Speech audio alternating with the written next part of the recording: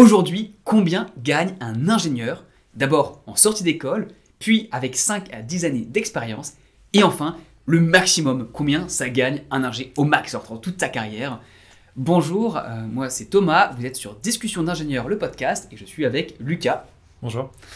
Et on va parler de salaire, d'ingénieur, d'argent, quoi, de thunes.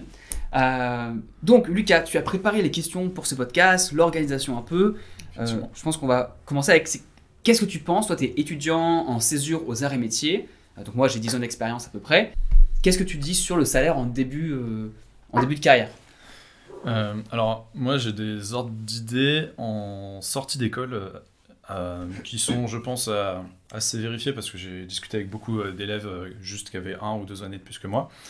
Donc, en général, de mon école, je parle chez aux arts et métiers, ça va entre, on va dire, 38 à 45 000 euros par an en sortie d'école. C'est pas cohérent, ouais. Est-ce que c'est à peu près ça euh, Est-ce que ça dépend beaucoup de l'école aussi? Je sais qu'il y a des grilles tarifaires. Je, une époque, j'ai vu des grilles tarifaires de EDF avec euh, des classes. Par exemple, pour euh, Centrale Paris, X, Mine Paris, ça va être catégorie A, ensuite A, B, etc. Est-ce que tu as connu ça du coup alors, est-ce que j'ai connu ça un tout petit peu parce que je suis parti à l'étranger très vite? Hmm. Mais oui, le, salaire, euh, parce que je suis en contact avec pas mal d'ingénieurs et ça fait 8 ans que je travaille, donc j'ai pu voir l'évolution aussi un peu des salaires. Attention, avertissement, Thomas du montage. On a la chance et le privilège en tant qu'ingénieur de gagner plutôt bien notre vie. Donc les chiffres que je vais dire sont relativement élevés, surtout lorsqu'on parle après 5, 10, 15 ans de carrière. Donc le but, c'est pas de dire ah on gagne beaucoup d'argent, on s'en fout en vrai, totalement. C'est juste de donner des informations. Ce sont des chiffres cachés que, dont on parle jamais parce que c'est une profession. on est très discret en France sur les salaires en général. Et en plus de ça, deuxième chose, les gens que je côtoie ont des gros, diplômes. Euh, c'est un milieu expatrié, c'est-à-dire que les gens travaillent beaucoup, on fait des choix risqués et sont dans des milieux qui sont relativement performants. Donc les salaires que je dis sont assez élevés aussi par rapport à ce que peut être la moyenne même pour le même type de poste, même en France. Donc c'est à prendre avec des pincettes. Le but c'est que ça soit qu'on reste bienveillant et constructif. J'espère que tu auras appris des choses avec cette vidéo. N'hésite pas à me dire ce que tu en penses en commentaire. Merci, bonne vidéo. Euh, oui, entre eux, on va dire Bon, 38, c'est parce que tu es aux arts et métiers, tu peux quand même aller jusqu'à potentiellement 35, 36 en début de mm. carrière, euh, euh, jusqu'à 42, euh, 45 selon les domaines dans lesquels tu vas, peut-être même plus d'ailleurs si tu es en startup tech, en finance ou en conseil. Mais oui, c'est un bon range. Et sur ta question des grilles de salaire et d'une grille par rapport à une école, oui, dans tous les grands groupes, il y en a. Qu'on aime ou qu'on n'aime pas ça, c'est comme ça, il y, a, il y a des grilles. qui peuvent être plus ou moins larges, c'est-à-dire qu'il y en a certains, c'est vraiment par école, d'autres, c'est par groupe d'école. Et là, le salaire, bon, bah, c'est pas négociable quand tu arrives parce que forcément, il y a des centaines d'étudiants qui sortent tous les ans de toutes ces écoles. Il y a un système, les grandes entreprises font ça et là, tu n'as pas beaucoup de marge de négo. Par contre, si tu vas dans des entreprises potentiellement plus petites où tu as une valeur différenciante plus forte, que tu es vraiment sur des, technologies, des nouvelles technologies, là, potentiellement, tu as matière à négocier plus, mais c'est grosso modo le range quand tu commences. Ok. Et de combien on peut. Euh, aller un peu plus haut avec les. Euh, par exemple, si on bosse en IT, en informatique, on gagne quelques milliers d'euros par an ou ça, ça, on peut monter à 50 000 Ou euh, ça reste quand même. Euh, si tu restes en France, c'est quand même assez difficile. potentiellement, tu peux monter un peu plus, mais ça va être quand même difficile. Alors, en, fait, ce qui se passe, c'est que si tu, soit tu bosses en conseil en strat, et là, tu vas pas gagner forcément beaucoup la première année, mais pas plus que 45, 46, mais tu vas monter très vite sur 2-3 ans. Genre très très vite, on passe de plus 10, plus 15, plus 20%. Euh, et par contre, si tu pars à l'étranger, notamment si tu pars aux États-Unis, aux États-Unis, c'est un scandale. Tu peux être, si tu es vraiment bon en tech, euh, tu peux à ta sortie d'école, si tu fais un, double diplôme avec une école là-bas, bah, te sortir à des, euh, à des 60, voire plus en premier job. Il y a des. ça peut paraître très surprenant, mais il y a, il y a 3 ans, j'avais 5 ans d'expérience et j'ai, eu un, j'ai vu un mec en tech qui a intégré Canva qui gagnait bah, quasiment plus que moi alors qu'il sortait d'école euh, et que c'était pas une école du top A mais c'est juste qu'il était tech tech tech et bon bah, voilà il, est très bien payé. Euh, donc ça dépend vraiment du pays dans lequel tu vas et si tu vas typiquement bah, en Espagne ou en Amérique du Sud tu risques d'être moins payé comparativement.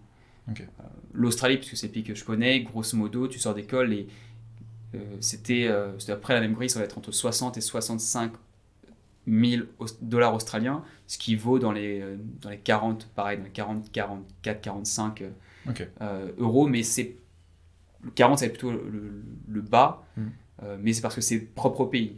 Euh, je ne suis pas meilleur si je commence ici qu'en France, c'est juste que les salaires sont différents.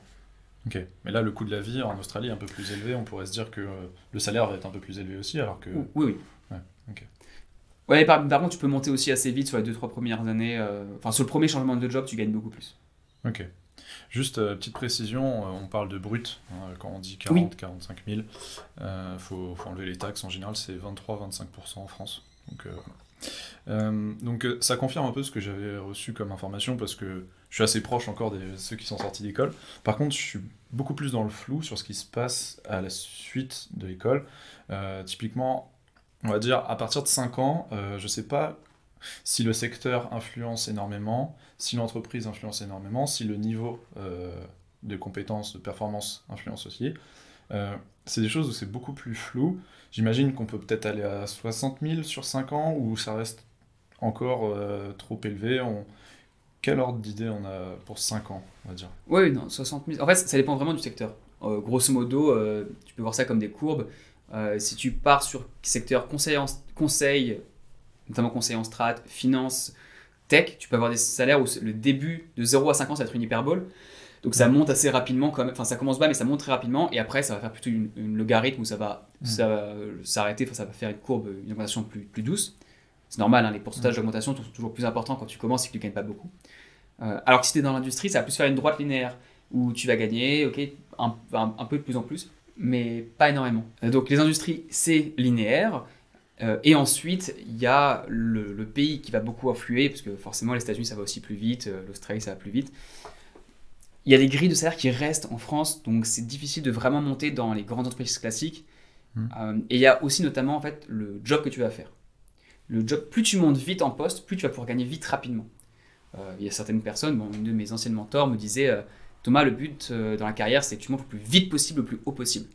Parce que oui, j'ai des potes qui ont été directeurs financiers à 27 ans, 28 ans. Ah oui. Et il faut réussir, faut, tu- ils ont bossé comme, ils ont charbonné, charbonné, ils ont eu la bonne opportunité.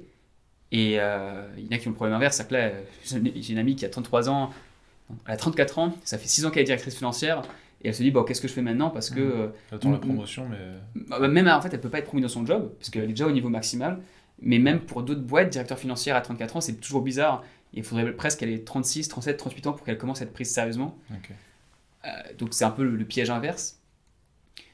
Et plus tu as ces postes là haut, plus tu peux monter vite. Euh, la vraie transition va se faire euh, sur le premier poste, bah, pas de manager, mais d'équivalent manager.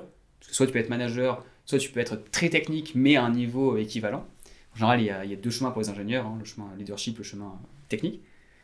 Mais il faut réussir à, à monter les premiers paliers assez vite quand même, enfin, en 2-3 ans. Il faut, faut faire un bon changement de poste. Si on reste stable, bah, après c'est une pente, hein, et la pente, bah, si la pente est douce au départ, euh, forcément on va aller moins loin. Les changements de poste, en général, c'est tous les 2-3 ans. Ouais, ouais, gros conseil, euh, attendez pas plus de 3 ans, surtout dans le monde actuel. euh, entre 2 et 3 ans, en France, on préfère 3, à l'étranger, 2, c'est aussi accepté. Un bon ordre de grandeur, c'est si tu fais que moins de 2, on voit que t'es, en fait, on pense que tu n'es pas stable. Euh, mais 2-3 ans, c'est très bien. Et surtout, n'hésitez pas à changer de- d'entreprise si vous n'avez pas une grosse augmentation en interne. Hmm. Euh, parce que, tout simplement, euh, c'est comme ça qu'on, qu'on est- reste au salaire du marché. Hmm. Tous les gens, enfin, à des rares exceptions près, si vous, si vous êtes bien noté dans votre entreprise et que vous montez vite, pourquoi pas. Mais un exemple, c'est que moi chez Bouygues, j'étais, euh, j'ai commencé très enfin, bas entre guillemets hein, pour un ingénieur. C'était euh, et de genre les 60, enfin, 64, ce que j'ai dit tout à l'heure hein, quand j'ai commencé, ce qui équivaut à 40 000, 42 000. Ouais. Et J'ai eu en 2-3 ans les plus hautes augmentations en pourcentage de toute la boîte. C'est-à-dire que vraiment sur la courbe en pourcentage, j'étais le numéro 1. Mais euh, malheureusement, même avec ça, j'ai quitté la boîte parce que bon déjà il y avait un- j'avais d'autres choses qui se passaient aussi, mais en termes de salaire pur, bah, on m'offrait euh, quasiment 50% de plus à côté. Hmm. Euh, et l'entreprise, oui, me disait, on peut pas te payer plus parce qu'en fait, tu es, déjà en haut de nos, de nos graves, de, on gère les augmentations, etc. Et je leur dis, bah oui, mais comparé à d'autres personnes qui sont potentiellement arrivées plus tard, qui ont gagné plus dès le départ, bah, je me fais avoir. Et enfin, moi, je veux juste. euh, Mais les grandes entreprises, c'est pas un peu du bullshit de faire ça, de se dire, bon, on met des grades, alors qu'ils savent très bien qu'en faisant ça, ils peuvent perdre des gens et Non, mais ils s'en foutent. ils s'en foutent. Parce qu'en fait, tant que tu as le turnover et tant que les gens sont là, c'est pas grave. Tant que, tu peux, tant que ça marche. Ok. Euh, oui, ils, perdent, ils vont perdre des gens, mais en fait, ils vont avoir d'autres gens qui, se, qui veulent vraiment rentrer. Donc, euh, tant qu'il y a du turnover, vraiment, J'ai c'est jamais pas... vu des contournements de ces, de ces règles-là, de se dire, bon, euh, les grades, on s'en fiche, là, il est quand même bon, ce gars, on le garde.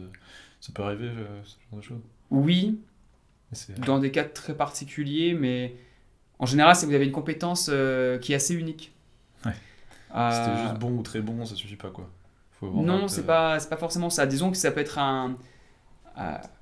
J'ai vu différentes choses, je vais pas les dire exactement parce que j'ai pas envie de mettre les personnes forcément dans une situation difficile. On a une où quelqu'un avait un énorme réseau par sa famille, donc ça tombait très bien pour apporter des affaires au business, voilà, très bien, il était mieux payé, très bien, beaucoup mieux payé que ses pères, que ses collègues de, du même âge. Mais il apportait du business aussi, mais juste par les relations de son père, bon bah très bien, c'est comme ça, c'est hmm. c'est injuste, il y a un, un privilège à la naissance pour lui, bah ok.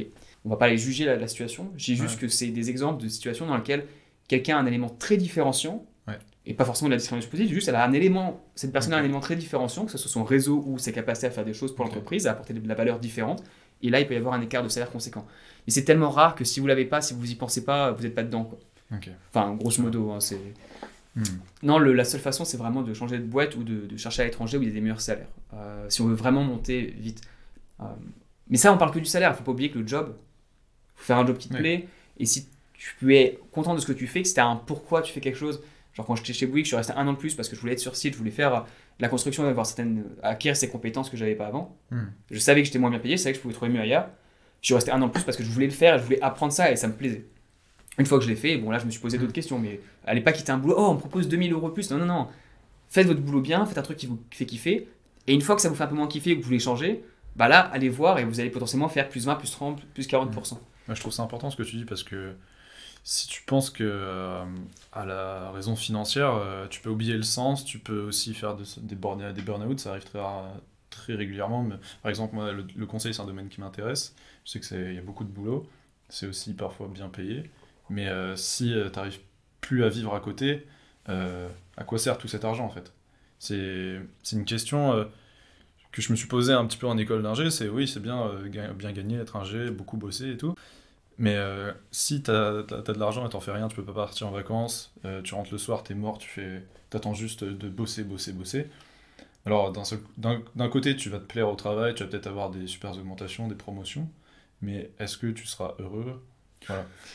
Tant, que tu as moins de 25-26 ans, tu as vraiment l'énergie, même moins de 30 ans, enfin moins de 28 on va dire, tu as vraiment beaucoup beaucoup d'énergie, tu te rends pas compte.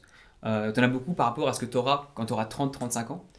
Et c'est à ce moment-là où tu peux te permettre, en fait, de même si tu travailles beaucoup, de toujours sortir, de toujours mm. faire des choses. Là, je j'étais retourné en France, j'ai vu une amie qui est en conseil. Oh, bah, elle disait oui à faire des sorties, elle venait prendre des verres avec nous, il était 22h30, elle venait de sortir du travail et derrière elle repartait le lendemain matin. Euh, et pourtant, on finissait vers 1h euh, du matin et elle retourne. Moi, je fais ça maintenant, je peux plus quoi. À quelques années de moins que moi, bon, bah, moi, je vais pas sortir à 1h du matin tous les soirs et reprendre le boulot comme si rien n'était le lendemain. Il hmm. faut qu'en semaine, je bois pas, quoi. enfin, concrètement, un ou deux verres, quoi. Je peux pas me permettre de, faire ça. Donc, tant que vous êtes jeune, vous avez cette capacité à tout faire sans burn-out. Et après, euh, ouais, je suis d'accord, il faut faire très attention à ce que tu veux et à pas faire une voie qui est très demandante sur toi, sur tes horaires, juste pour l'argent sans savoir ce que tu veux derrière. Hmm. Ce serait dommage. Tu peux aussi, tu sais exactement pourquoi tu veux l'argent, mais c'est mieux d'avoir une idée, quoi. Hmm. Et puis euh, à 30, 35 ans, il y a des projets perso qui s'installent, euh, des maisons, euh, des choses, peut-être des enfants qui prennent du temps. Et si on fait que de bosser, bon, compliqué. C'est des choix de vie qui sont en général à deux et hmm. c'est ouais, des choix de vie. En fait, ce qui va se passer, c'est que entre 25 et 30, enfin entre 22 et 30, tu vas vraiment monter rapidement ou apprendre plein de choses. Potentiellement apprendre beaucoup en 2-3 ans, puis monter, faire des sauts des, par palier. Et l'endroit où tu es à 30-35 ans, c'est quand même un grand déterminant de ce que tu vas faire dans les prochaines années. Donc, essayer d'apprendre le plus possible, de faire le plus de choses possible à moins de 30 ans, c'est vraiment important pour bien se placer derrière et justement un peu relaxer, travailler un peu moins, mais sur une trajectoire, on gagne déjà bien sa vie et on peut euh, être sur la bonne voie pour continuer à bien gagner sa vie tout en ayant euh, ses projets à côté. Euh, je voyais vraiment la différence. J'ai vu les salaires donc, dans, de, beaucoup de personnes sur, chez Bouygues. Il y avait une énorme différence sur les personnes qui avaient aux alentours de 28-32. C'est là où il y avait vraiment le gros gap. C'est le moment où les gens sont arrivés à trouver un bon poste, à faire un bon jump. Et tu peux mettre plusieurs années à le faire, mais il faut, faut, faut vraiment essayer de, de, faire le jump pour passer sur une bonne position, d'être soit senior quelque chose, soit d'être manager. Mm. Euh, bon, et senior en technique, hein, senior euh, méthode, senior design, peu importe, pour faire ce gap financier. Et ce, qui, ce, qui, permet d'avoir ce palier-là, euh, c'est la négociation en entretien, c'est tes performances c'est l'opportunité, la chance un petit peu C'est un, un, mix. Bon, faut avoir les, en fait, il faut avoir les compétences. Et ensuite, c'est un mix entre. Il faut toujours la chance. Mais la chance, tu peux la provoquer. Et tu as 2-3 ans pour la provoquer, donc ça va encore. Mais c'est le networking que tu vas faire, la façon dont les gens vont savoir que tu es bon ou non. Et ensuite ta capacité à euh, prendre une opportunité lorsqu'elle se présente. C'est savoir, euh, se dire, ok, là c'est fait pour moi, je peux mettre. euh, l- Enfin, je. Faut pas avoir peur d'aller chercher plus haut à ce moment-là, quoi. Ah, il, Ouais, faut surtout, il faut surtout aller chercher plus haut. et. Ouais, mais et là, c'est même plus. En... en fait, le salaire va suivre, faut même pas regarder le salaire à ce moment-là, c'est vraiment la position que tu peux faire. Euh, une fois que tu as la position, un an plus tard, tu peux à nouveau. Enfin, faites le boulot qui est au-dessus, et une fois que tu as fait le boulot qui est au-dessus, demandez le salaire. Faut pas attendre 2-3 ans non plus, mais au bout. Il vaut mieux ne pas prendre le salaire tout de suite, parce qu'en général, les grosses boîtes veulent pas trop vous le donner. Mais si vous avez des responsabilités hyper grandes, bah, c'est beaucoup plus simple, 6 mois plus tard, de renégocier et d'être euh, largement au-dessus. Ou bien de dire, bah, à côté, on va te chercher. euh. Ouais. Genre, sur mon dernier boulot, j'ai été promu à, quelques mois avant de partir. Bon, bah, clairement, le salaire après promotion a été celui que j'ai donné comme base pour négocier sur le salaire d'après. Et euh, ça m'a fait gagner un peu d'argent sur mon futur job, clairement. Mm. Une fois que tu as un acquis sur le salaire, c'est dur de revenir dessus, c'est ça? C'est que tu t'en sers comme base. C'est-à-dire que c'est ta- Ouais. d'un point de vue des autres entreprises, c'est la valeur qu'on t'a donnée pendant plusieurs années ou que c'est ta valeur actuelle, donc euh, tu peux t'en servir. Et si t'as un salaire bas, d'ailleurs, donne pas ton salaire parce qu'ils vont penser que tu vaux moins cher, donc tu donnes le salaire que, que tu as envie. Mais si Ok. tu as déjà un bon salaire, une fois que tu as réussi à passer ce gap, il y a vraiment une- un jump à faire. Et si tu arrives à le passer, voilà, c'est tout. tout Ce, à- ce jump, il est de combien? Ah, euh, bah, ce jump, c'est la différence entre, entre être à, euh, on va dire, alors en France et en. En gros, c'est d'être au-delà des, bah, des 65, 70, quoi. euh, Ouais, ok. euh, si tu arrives à passer cette barre-là, en général, en fait, tu vas avoir des jobs qui vont être euh, dans les 40, 50, 60, et puis après, tu vas avoir des jobs vraiment au-dessus de 70. Ok. Et c'est la différence de senior slash manager. Ok. Et si tu arrives à passer ce jump-là, après, après t'es es du bon côté du cliquet, quoi. Et t'as vu beaucoup d'ingénieurs à 70, euh, Ah oui, oui. 80 Bah, en- ceux qui étaient chez Bouygues, euh, qui avaient plus de 30, 32 ans et qui étaient en senior et autres, euh, Ah oui, là, déjà plus de 30-32 ans, c'est des 70-80 bah, c'était des expatriés, donc c'était aussi... Ok, euh, ouais. en- Parce que les gens qui sont expatriés sont en général des gens qui sont bons et qui sont parmi les meilleurs dans leur Ok. catégorie. Mais oui, oui. Ok, c'est possible. Ah oui, oui, clairement. Ok. Ah non, non, sérieusement. ouais. Et puis même, en fait, les packages d'expat étaient énormes. Genre, c'est du... C'est c'est hyper cher un expat. Parce qu'en fait, ils ont leur salaire, qui est dans les euh, 70, on va dire. Mais après, ils ont quasiment autant en avantage. Genre l'école de leur gosse qui est payée, l'école internationale qui est payée, les voyages, l'assurance. euh, l'école. Ah oui, c'est énorme, c'est énorme. Ah oui. Et c'est pour ça que moi j'étais à moins de. bah, j'étais à. Je sais pas, j'étais- à 45 et tout, je travaillais comme un fou. euh, Tu vois ça à côté, tu, il gagne 3-4 fois plus que toi alors qu'il a que 4-5 ans de différence. Tu comment c'est possible quoi? Hmm. Bon, eux c'est spécial, c'est expat en général, c'est deux fois moins, donc il y avait juste un écart de fois deux, mais quand même. Et, et ça, euh, je sais, quand j'étais chez Bouygues, bah, je voulais vraiment y aller. Je me disais, mais comment tu fais pour monter? Parce que je me battais dans les négos pour essayer de gagner plus. Euh, c'est pour ça que j'ai eu des bonnes augmentations, mais derrière, c'était toujours moins que d'autres. Et j'ai quitté la boîte pour faire ce premier gap. C'est. C'est une grosse satisfaction une fois que tu as passé ce gap-là. Bah, tu sais que c'est un peu pour toute ta vie. euh, Alors, ça peut, tu, ça peux peut partir, faire des, mais- tu peux faire des conneries, mais. Tu peux faire des bêtises, mais euh, non, non, c'était un énorme soulagement. Moi, ça me préoccupait beaucoup. Euh, Ouais, envie de stagner, enfin, c'est normal. Ouais, au-delà de ça, enfin, je suis venu en Australie, j'avais pas beaucoup. Enfin, j'avais, j'étais, euh, bah, j'ai creusé dans mes réserves, quoi. Donc, euh, en gros, Mm. tout ce que j'avais pu économiser quand j'étais étudiant, quand j'ai eu mon boulot, il me restait moins de 2000 balles total. Euh, et, et ensuite, bah, j'ai dû tout remettre dehors. Puis après, il y a des frais. Au niveau des... Pendant 2-3 ans, j'ai rien économisé parce que j'ai eu un problème médical. Qui m'a... C'est l'Australie, hein, ça, coûte, ça m'a coûté 5 000, enfin, peut-être 5 000 euros, on va dire. Voilà, le petit problème médical qui coûte que 5 000 euros, voilà, les économies, Euh, Puis après, j'ai pris des billets pour revenir et j'ai payé mes- mon visa, qui m'a, mon- ma résidence permanente qui m'a coûté 10 000 balles. Très très vite. 7 000 euros. Zioup, voilà, pendant 3 ans, tu sais que tu économises rien. Tu vois, tu sais. Et après, une fois que j'ai fait ce gap-là, justement, Ouais. enfin, j'ai pu commencer à économiser, mettre de côté, faire un fonds de sécurité. Enfin, de... enfin, j'avais déjà fait un peu la, un moitié de fonds de sécurité avant, mais on ne parlera pas de comment gérer ses finances ici. C'est pas forcément le but du podcast, c'est sur combien on gagne. Mais ouais, ouais, je vous recommande vraiment de ne pas se dire Ah, je vais rester dans ce job-là toute ma vie, à ce niveau de salaire. Faut... On peut pas le faire tout de suite. Mhm. Il faut en général 2-3 ans avant de faire, pour pouvoir faire son premier jump. Donc faites, apprenez un max à ce moment-là. Et ensuite, le but c'est de donner 2-3 ans pour, euh, on va dire, entre 26 et 30. C'est là où il faut vraiment chercher à faire ce gap-là euh, Mhm. d'une manière ou d'une autre. Et c'est Ok. pas grave si on n'y arrive pas au départ. Il faut juste réussir à le faire. Ok. Donc si on résume un petit peu, en, en sortie d'école, on va dire jusqu'à 25-26 ans, on est sur du 30-50K, on va dire une fourchette large. 30, 50, c'est vraiment si t'es dans les, dans les fonctions qui payent très très bien. Là, on parle forcément. 30, 45. Ouais, ouais. Et ensuite, euh, de 26-32, si on peut prendre Mm. ces, ces données-là, on peut aller chercher du, plus 20 C'est-à-dire Ouais, on va dire plutôt. 70, c'est plutôt, on va dire. 65, 60. Ouais, on va dire. C'était entre 28 et 35. Tu vas chercher du. Peux aller chercher du 70 à un moment donné. Mais pas tout le monde. Enfin, faut, faut, les, moyens, faut, faut, y aller, faut être bon. Et il faut avoir bien compris comment ça se passe dans la boîte. Il faut avoir la bonne opportunité. Il faut savoir se mettre en valeur aussi. Euh, donc c'est, ça peut être un objectif. Ouais. Ok, d'accord. Donc euh, là, on arrive à peu près à plus 10 ans de la sortie d'école, si on arrive à juste 32 ans. Et là, je, parle aussi, je connais beaucoup les chiffres australiens, peut-être que les chiffres en France sont un poil moins.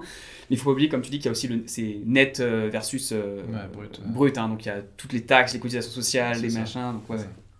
Ouais, ça pas mal prélevé, en France, mais sur cette partie-là, là, des 10 ans en sortie d'école, on a à peu près un ordre d'idée. La suite, comment ça se passe? Est-ce qu'on a parlé du maximum Est-ce qu'on va tout de suite à là, à ce moment-là?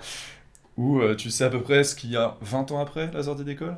Ou ça peut vraiment varier autant qu'on veut? Non, c'est une bonne question. Alors, je vais pas te mentir, je sais pas exactement parce que je suis pas encore. Euh, hmm. De ce que j'ai l'impression, vraiment, si tu as, ces points d'inflexion dans la carrière, euh, tu en as un autre derrière, c'est le directeur. Typiquement, si tu deviens directeur, bah là, tu fais encore un plus 20, plus 30, plus 40. Euh, ça peut paraître des énormes sommes, mais c'est vraiment, c'est vraiment ça. Hein. Tu quand, les, quand, les points d'inflexion, ils sont énormes. Euh. Quand tu as discuté un peu avec euh, des camarades de promo en France et tout, ils ont un peu ça aussi Ou c'est vraiment l'Australie tu... Non, bah, les, mes potes de promo sont principalement dans le conseil et ils gagnent beaucoup, beaucoup d'argent. Euh, tant mieux pour eux. ouais, ouais, ils gagnent très bien leur vie. c'est dans ce genre de trucs. Mais pareil, c'est des gens qui. Voilà, je parle voilà, des amis qui sont. Ouais, ils gagnent bien leur vie, ouais. Si, si, si, en vrai, si. En vrai, mais par contre, oui, si j'ai pas j'ai des amis en recherche, je leur ai pas demandé parce que je, je suis pas, c'est plus des connaissances de. Et je pense qu'en recherche c'est beaucoup moins. Hmm. Euh, fonction publique c'est beaucoup moins aussi. c'est hmm. tout ce qui est privé, ouais, ça va gagner plus quoi. Privé, banque, finance, euh, conseil. Euh. Exactement quoi, privé, banque. Et tech. Ouais, tech. Ok. Tech, bah, tech j'ai des potes qui. Hmm. J'ai des potes qui ont qui sont fait de la tech pendant quelques années et qui ont reçu un très très très très gros chèque qui les a mis, enfin ils ont plus de problèmes financiers pour sûrement Enfin, ils peuvent s'acheter une maison directe et voilà, ils sont tranquilles. Euh, parce qu'ils ont fait les, ils ont été au bon endroit, au bon moment et c'est tant mieux pour eux. Hmm. Mais, euh, Donc ça, c'est un peu le haut du panier. Euh, le range moyen, c'est un peu l'industrie? J'imagine, j'imagine, ouais. Et en dessous, le public, la recherche. Ouais, en France. En France. Dès que tu pars à l'étranger, tu peux être La recherche est bien mieux payée à l'étranger. C'est pour ça qu'il y a de la fuite de cerveau aussi. Ouais, ouais, bien sûr. Mais d'accord. Et pour le max, toi, tu me disais que tu avais vu des choses intéressantes. Vas-y. Euh, j'ai regardé les 10 milliardaires, euh, les 10 personnes les plus riches euh, sur Terre actuellement. Et après, je vous donne les chiffres que je connais moi. Hein. Le classement Forbes de 2022. Et j'en ai vu 8 sur 10 qui ont une formation d'ingénieur slash scientifique. Et ça m'a extrêmement surpris. Ça veut dire que un ingénieur potentiellement peut être la personne la plus riche du monde. Potentiellement, il n'y a rien qui l'empêche. Hein. C'est de quoi sera fait demain tout ce qui est autour de nous, c'était construit par quelqu'un, donc euh, autant construire la suite et, être la personne là. Ouais. Donc euh, il y a le maximum quand on est ingénieur, on n'en a pas vraiment en fait. alors oui, alors oui et non. Euh, en fait, il y a un... si tu restes sur un job et tu vas pas prendre beaucoup de risques, tu vas avoir une trajectoire bah, sur les grilles de salaire, tu vas peut-être finir à quand je vois les, postes là, seniors directeurs, etc. Dans, en construction, bah, ils étaient à tu vas peut-être aller à, je sais pas, 100, à plus, à plus de 100, mais on va dire entre 100 et, et 120, quoi, grosso modo. Hmm. C'est à peu près là où tu commences vraiment à avoir un, un plateau très très fort. Ouais. Euh, Là, on parle des 50, 60 ans.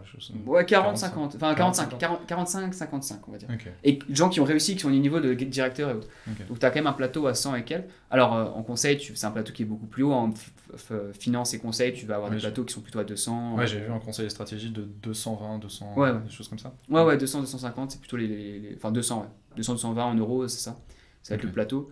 Euh, et si tu es dans les startups ou que tu crées ta propre boîte, ou que en tout cas tu as des participations, c'est là où tu peux vraiment faire beaucoup plus. Typiquement, tu es dans les boîtes de tech, tu as des parts, les parts elles augmentent avec le prix de, l'action, enfin, de la boîte, et là tu peux vraiment faire des, des coûts. Et euh, il y a beaucoup d'ingénieurs que je connais qui sont en tech qui, eux, leur but c'est de travailler 5, 8 ans, 5, 7 ans et d'avoir des parts, de la boîte elle marche bien, de les revendre, d'avoir quelques centaines de milliers d'euros, de s'acheter une maison, d'avoir un crédit, de bosser encore pendant 5 ans et puis après de, hmm. d'être tranquille euh, à partir de 35, 38 ans. Quoi. Ouais, et puis s'ils ont leur boîte après aussi. Enfin, c'est juste des parts ou. Euh, c'est des parts là. C'est, des parts. Et. Euh, Je connais quelqu'un qui, a, qui a 30. il a le même âge que moi quasiment et c'est un scandale. Enfin, tu te dis euh, des fois, bon, bah, est-ce que j'ai fait les bons choix financiers? Parce qu'il est, il est très tranquille. Maintenant, il fait son boulot par passion, mais là. Oui, il est clairement millionnaire. Non, non, parce qu'il s'est acheté. En fait, il est. Non, non, il a peut-être un peu moins, mais. Ouais, il a peut-être 700, 800 000 de, de capital et il a, enfin, il a acheté une maison, donc il a pas ça en cash. hein, il a, Ouais. il a une dette de 1 demi-million parce que c'est l'Australie, euh, mais il a quand même payé euh, ouais, 300, 400 000 de sa, de, son- de sa maison et en faisant un boulot normal pendant encore 10 ans, il, il sait que dans 10 ans, lorsqu'il aura même pas 40 ans, il aura remboursé sa maison, ce qui a un luxe incroyable enfin, à notre époque. 40 ans de- Enfin, si moi tu me dis, euh, Thomas, à 40 ans, euh, t'as une- un bon appart, une bonne maison à Sydney et t'es heureux, enfin, Ouais, et tu l'as fini de la payer, tu travailles normalement sans avoir besoin de faire euh, des, enfin, tu sais, 40, 45 heures, voire 50 peut-être par semaine. Ok, tu vois, je signe parce que je sais que c'est quasiment impossible. Bah, Une fois que tu as remboursé ta maison, euh, c'est que de l'argent de poche qui arrive tous les mois, quoi. Tu, tu Ouais, peux dépenses, investir. il y a l'inflation, mais euh, oui, oui. euh, Genre, tu peux vivre. euh, Enfin, quand C'est tu sais que ta dépense de logement est la plus importante. euh, Ouais. Ah oui, 100%. Ouais. Donc, euh, si t'es ingénieur, il y a des grosses opportunités qui existent si tu veux faire de l'argent. Euh, faut pas que ça soit le seul facteur, vraiment. Donc, le maximum pour revenir à ce que je disais, c'est caper un peu quand t'es quand même dans l'industrie. Après, tu peux faire beaucoup plus si t'as ta boîte ou si même tu prends des parts dans les boîtes de tech. Euh, Mais le plus important, c'est de te demander pourquoi on fait les choses. Si ton but, c'est d'avoir une maison, très bien, enfin, mais fais-toi Mhm. un plan et on a la chance d'être dans une fonction qui permet de vraiment s'épanouir faire des boulots, des choses qui te plaisent, de pouvoir changer d'industrie si tu trouves que ce que tu faisais avant te plaît pas. Donc autant utiliser cette opportunité. Faites très attention au changement. Entre 28 et 32, essayez vraiment d'avoir ce, ce boulot qui paye plus. C'est vraiment important de le faire à ce moment-là. C'est toujours possible après. hein. Mais si tu le fais avant, bah, c'est quand même beaucoup plus simple. Hmm. Je suis très heureux d'avoir pu faire cette étape-là quand j'avais euh, 28 ans parce que ça m'a bah, permis d'avoir euh, une grande bouffée d'air frais. Hmm. Euh, et depuis d'ailleurs, bah, je cherche pas. à- Enfin, je sais que le prochain point d'inflexion c'est d'être directeur et autres, et je l'aurai pas avant au moins 5, 3, 4, 5 ans, euh, 3 ans si je me donnais à fond, fond, fond. Donc, euh, je, je- ce qui fait que tu es plus tranquille en fait. Ouais, tu ça peux te dire. libéré de. Ah ouais, ça te libère euh, énormément et j'en suis. Enfin, c'est trop cool quoi, tu vois. Ouais, ça. Et c'était ce que me disaient mes des gens à Bouygues, les gens qui étaient seniors, qui avaient eux déjà passé ce point-là. Ils me disaient Tu sais, l'argent, Thomas, une fois que tu en as, euh, au-delà d'un certain salaire, c'est plus trop ça qui te fait euh, choisir ce que tu fais. Et moi j'étais en mode. euh, Quoi?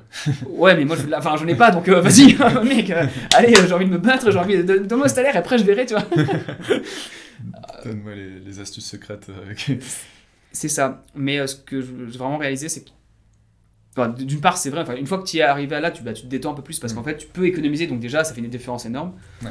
Euh, mais par contre, il faut faire attention au. Tu peux pas le faire tout de suite, ce, ce décollage, sauf si tu es en conseil. Mais Mm. il faut moins de 3 ans. Et donc, c'est après 2-3 ans d'expérience et 7-8 ans, il faut vraiment essayer de faire un, un jump à ce moment-là. Ok. Ok. Je sais pas ce que tu en penses, toi, tu t'attendais à ce que je te dise ça sur le jump ou tu t'avais déjà entendu parler de ça Euh, J'avais entendu un petit peu parler, parler des paliers, effectivement. Euh, J'avais pas encore les ordres d'idées. Je suis assez surpris des chiffres. C'est plus élevé que ce que je pensais, honnêtement. Mais euh, alors, peut-être c'est l'Australie, ça se trouve pas du tout. Peut-être que c'est l'Australie, peut-être que c'est aussi. euh, le- enfin, on va aussi recadrer les choses. J'aurais peut-être dû le dire en disclaimer au départ, mais c'est vrai que euh, les gens avec qui je parle en général ont aussi fait Centrale Supélec, qui est une bonne école en France, donc qui potentiellement a des plus hauts salaires aussi. Hmm. Ça peut jouer, hein. Ouais. Enfin, faut pas se mentir, le système français fait comme ça. Donc c'est aussi peut-être un facteur de Facteur. 10% en plus de ce que moi j'entends, surtout que ce que les gens que je connais, en général, ils ont pas mal réussi aussi, donc peut-être euh, vers dire 20% de moins, mais c'est quand même assez. C'est plus élevé qu'on ne pourrait le penser dès que tu fais une carrière soit à l'étranger, soit que tu es vraiment bon dans ce que tu fais, dans, le domaine, le domaine ah, pardon, et que le domaine est porteur. Ok, ouais, je vois très bien. Non, mais euh, ouais, c'est assez intéressant. Moi, j'avais que la, portée juste en sortie d'école, j'avais entendu quelques chiffres, mais ce, suivi tout au long de la carrière de OK, il y, a des- paliers à prendre et il faut pas les louper, euh, je l'avais pas encore euh, bien conscientisé. C'est important, je pense, euh, d'en C'est- parler là. Ouais, bah, c'est l'impression que j'ai après, est-ce que c'est vrai ou pas Parce que tu sais, euh, ça, ça se trouve, il y a, y a plein de gens. Et si vous n'êtes pas d'accord, euh, dites-le moi dans les commentaires. hein, euh, Je, je, je Mm. partage juste ce que j'ai pu voir autour de moi Mm. euh, et comment s'est passé de mon côté. Mais ouais, j'ai vu pour pas mal de gens en vrai ce, ce palier, donc c'est pour ça que j'ai fait cette théorie. Mais Ok. euh, ouais, il y, y a les salaires comme ça, en courbe droite, puis il y a les salaires qui montent. Il faut, si tu peux être sur le palier- si tu peux être sur la courbe d'avant, c'est sur la deuxième courbe, ça qui va plus vite, plus haut, c'est quand même euh, plus simple. Parce que tu travailles, tu travailles pas nécessairement plus. Il y a des gens qui donnent à fond, qui gagnent pas énormément, et donc euh, Mm. ce serait dommage de travailler beaucoup et de pas pouvoir être de l'autre côté, quoi. Mm. Donc si vous êtes dans cette situation, bah, donnez-vous 6 mois, 1 an, 2 ans, et faites un petit plan, et ok, c'est comment est-ce qu'on arrive à faire ce gap dans les 12-24 prochains mois? c'est possible, mais il faut, faut, travailler pas mal sur, conscient, de façon consciente, se dire où est la bonne opportunité pour moi? Ça se trouve, c'est pas dans ma boîte. Ouais. D'accord. Donc, si on résume un peu, ingénieur, ça paye quand même très bien. Ça paye bien. Ok. ça paye bien. Mais il faut bosser. Mais, hmm. comme tout Mais on a de la chance. N'hésitez pas à me dire combien vous gagnez en commentaire, en tout cas ce que vous en pensez, si ça vous paraît trop haut, ce qui est peut-être le cas en France. Hein, N'hésitez pas à me contredire. Et puis bonne continuation, on se voit sur un prochain podcast, discussion d'ingénieurs. Merci d'avoir écouté. Merci.